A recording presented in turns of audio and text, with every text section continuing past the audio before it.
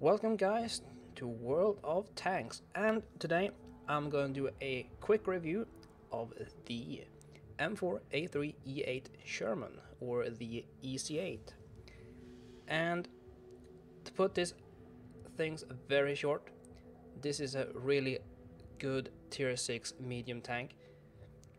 It's fast it's maneuverable it got a very good gun at least for this tier and I got one review or replay that I'm gonna show you.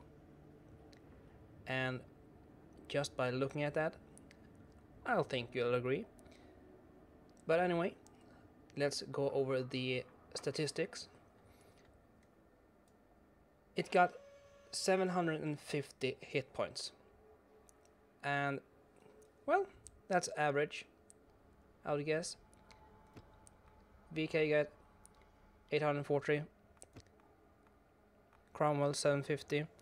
The Jumbo got 730. And we can... Yeah, and the Panzer IV Schmalturm has 730. So, yeah, it's in the middle. It doesn't weigh that much. 34.5 tons at the max. 520 horsepower. That's quite good 48 kilometers per hour speed limit. Really good at this tier.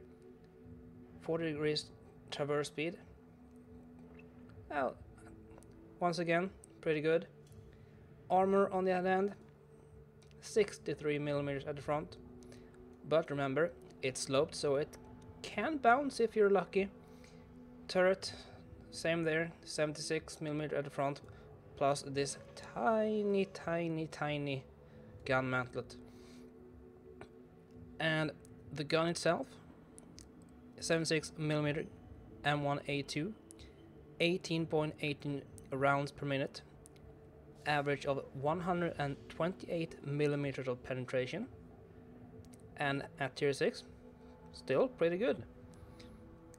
115 average damage, also quite alright. The dispersion or accuracy is Shut up. Accuracy one uh, 0.4 at 100 meters. It could be better, but 2.0 aiming time.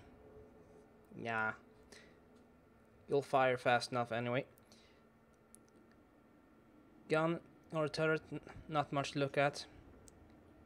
Engine, 20% chance of firing impact haven't happened that much either. It's like 1% for me. And what kind of equipment should I fit on this? Vents, gun laying drive, and gun rammer. And that's about it. I'll see you in the replay. So, here we are in the Easy 8 and it's Ruinberg and I'm platooned up with two of my friends. And yeah this is a pretty tight game I would say especially at the beginning. And as you can see I'm in the very middle at least in tiering which is pretty lucky considering that one of my friends is playing as a uh, scout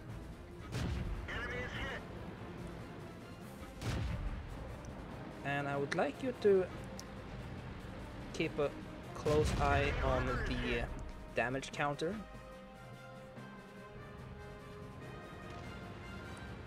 Three shots out and we got already 350.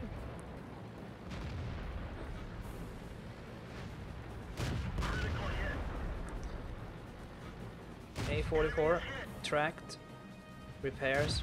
I track him again.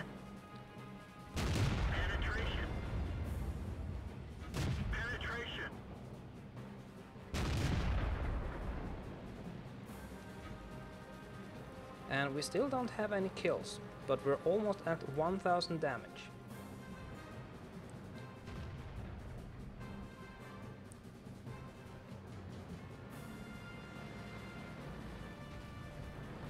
And this tiger will soon learn that you don't turn your back at an easy 8.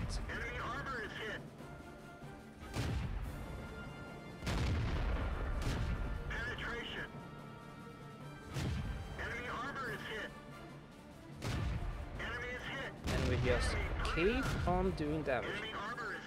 And there finally is my first kill.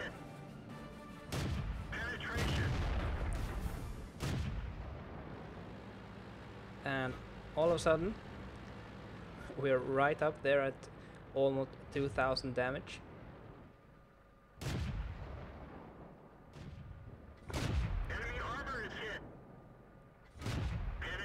And as you can see, don't really care about the accuracy, we can just shoot.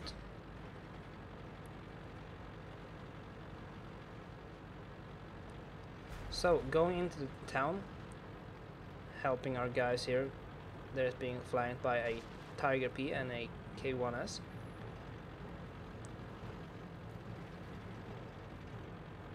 Now the Tiger P, as we know, have a ridiculous front armor, but at rear it's really crap.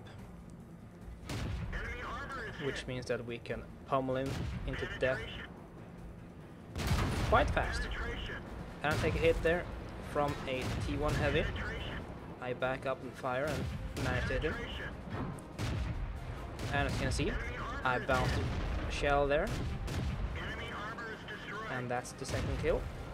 We got a Hellcat visiting us.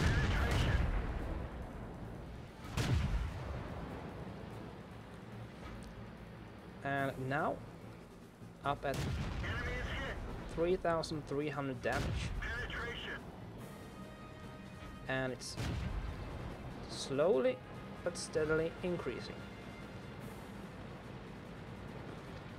We got a T29 pushing his luck.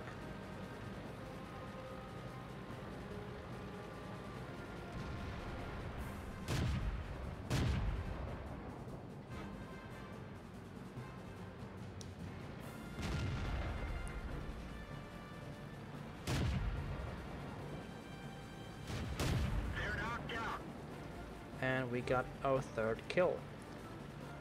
T25-2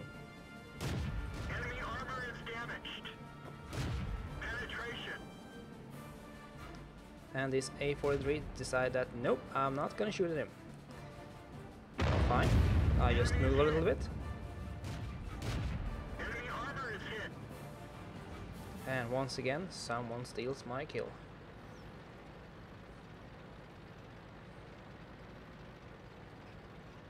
But I'm not really complaining. So, last two on the enemy team. A M44 and a VK 3001H.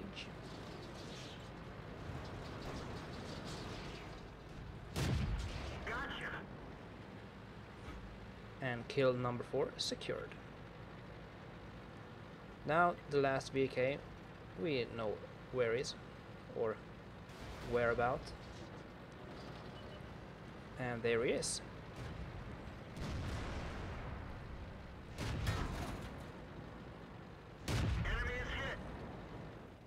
Now, he can dish out some damage real quickly, but not fast enough. So, to um, summarize this, Beast of Tank, if you know how to play it or if you can get in the right situations. Other than that, it's a decent tier 6 medium tank, and quite the opposite of its uh, brother, the Jumbo, which I will be reviewing in a near future. But anyway, I hope you liked this short but effective review, and I'll see you next time. Bye.